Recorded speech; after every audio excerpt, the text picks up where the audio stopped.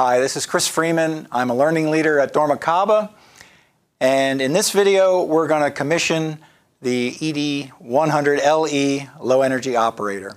So at this point, the operator is already installed. The, the back plate is securely mounted to the frame. The arms index properly on the, on the pinion.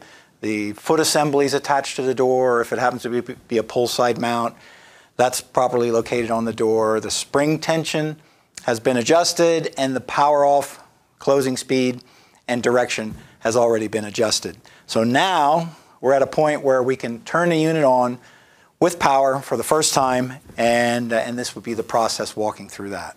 So the first thing we do is turn the unit on and if we have power, the LED should light up. While the lines are going up and down, we push the bottom button.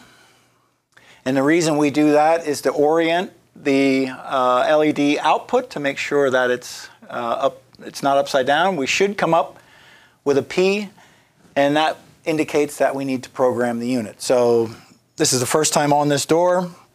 This is the first time that there's ever been power applied, and it needs to be programmed. So we're going to tell it three different things as we program. We're going to tell it uh, what side of the opening we're on. So is it on the push side or is it on the pull side? We have to tell it that. And then we're going to tell it some uh, additional information. We're going to tell it the reveal depth. So on the push side, the reveal depth is the uh, distance from where the plate is installed to uh, where the face of the door is. So on this particular application, it's about uh, four inches or so. And then we're going to tell it one other thing. We're going to tell it uh, what size door we're on. So this is a 36 inch door.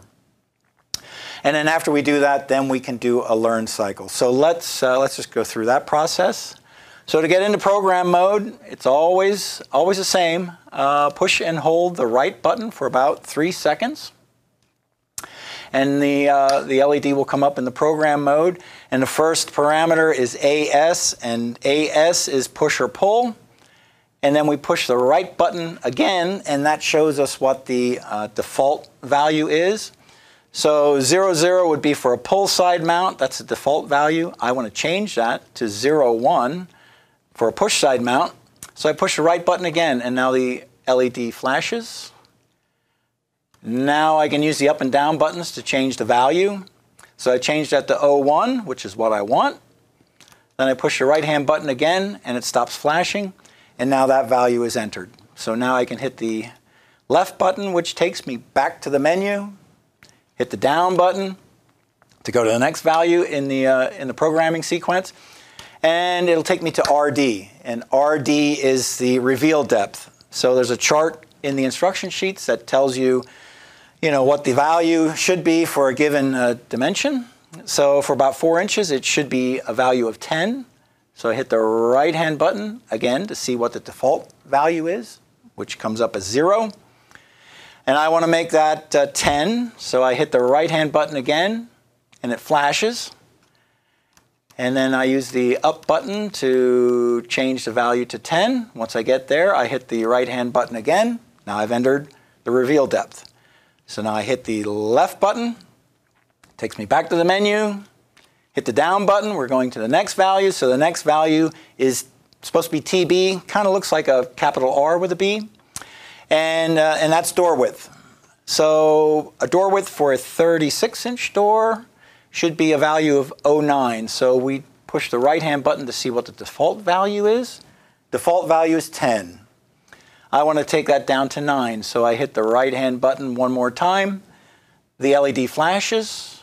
I hit the down button, takes me down to 09. That's what I want.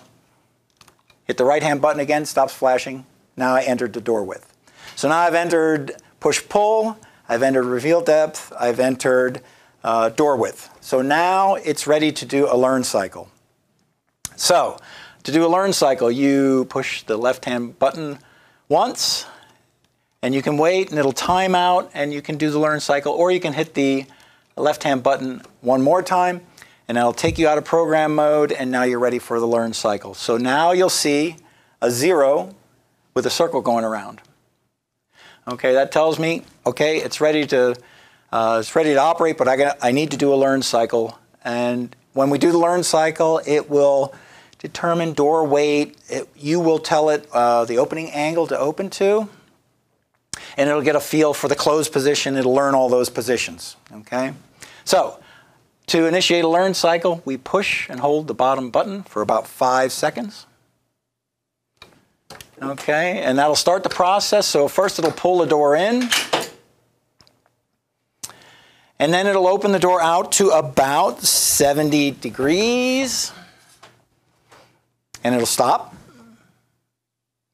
And it'll wait for you. And now, now you open the door to whatever angle you want the power open position to be. So it's generally somewhere around uh, 90 degrees or so and it'll stay there. And then we push the bottom button one more time to accept that position. And now the door will come closed and it'll open and close a couple of times. And if there's a strike attached to the operator, that will release to allow the door to open. And this will open completely. Try not to interrupt the door while it's doing this because if, if you have to use the door and it gets interrupted, it's no big deal, but you'll have to start the process of the learn cycle over again. So now it'll come closed. And it won't quite close all the way. And then it's going to push the door open.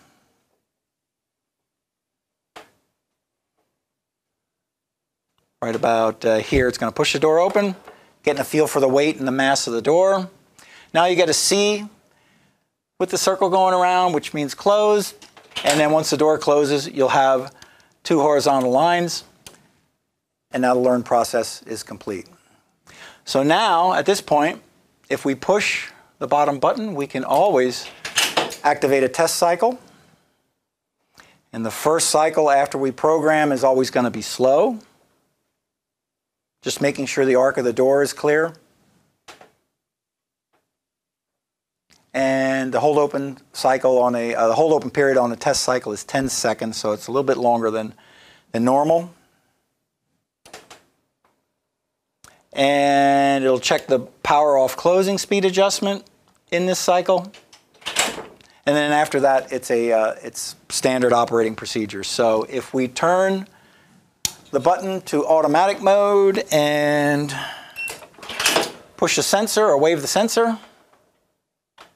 That would be your normal uh, speeds, forces, hold open times.